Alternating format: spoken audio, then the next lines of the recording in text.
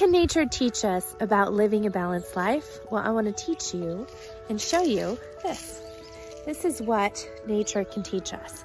It teaches us that winter, which is why there are no leaves on the tree, is a time for us to rest. This is the time of year when all the energy goes from the limbs all the way back down to the roots of the tree. This is a time when all the cute little furry fuzzy animals are hibernating. This is the time of year when the world slows down, except for us, human beings. For some reason, we have not gotten the memo recently. What would it be like if we actually slowed down during this time of year?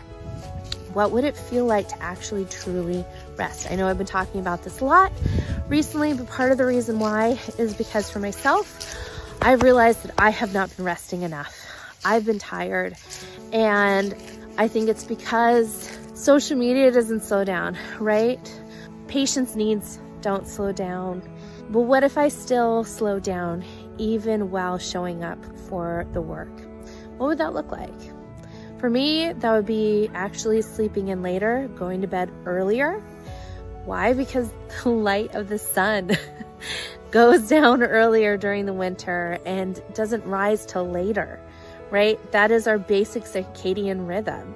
It would look like eating more nutrient dense foods. There's a lot of ways where we can balance out our lives and actually learn to listen to our surroundings, listen to the world around us, listen to the season.